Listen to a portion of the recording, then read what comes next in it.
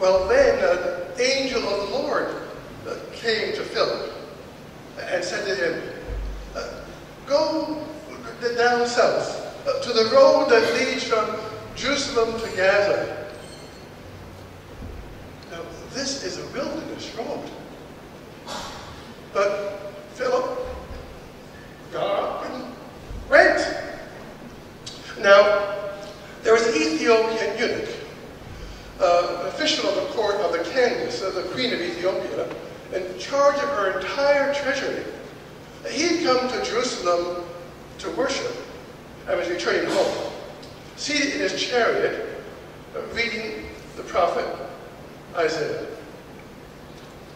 Now, the Spirit said to Philip, Go over and join that chariot. So he ran over to the chariot and heard the eunuch reading from the prophet Isaiah.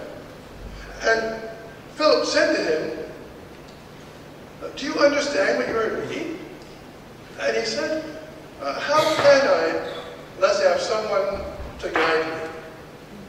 And so he invited Philip to come into his chariot, and he sat beside him.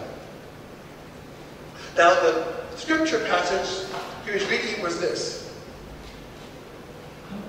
Like a lamb led to the slaughter, like sheep before its shearer, it does not open its mouth. In his humiliation, justice is denied him. Uh, what can we say about this generation? For his life is taken away from the earth. And the eunuch said to Philip, About whom, may I ask, is the prophet speaking? About himself or about someone else? And so Philip began to speak, beginning with this passage, proclaimed to him the good news of Jesus. Now, as they were going along, they came to a, a pond of water. And the eunuch said, What is to prevent me from being baptized? And so he commanded the chariot to stop. And both of them, both Philip and the eunuch, got out and went down into the water. And Philip baptized the eunuch.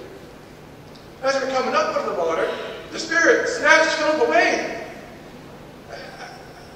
And the eunuch saw him no more. But he ran on his way, rejoicing. Now, Philip ended up in Azotus. And he passed through all that region, preaching and proclaiming in all the towns, uh, until he came to Caesarea.